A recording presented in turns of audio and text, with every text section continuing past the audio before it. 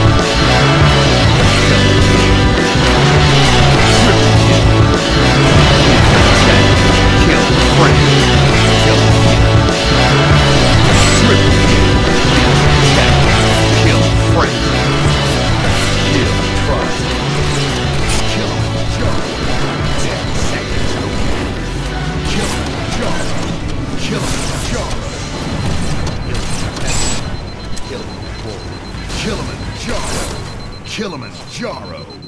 Game over.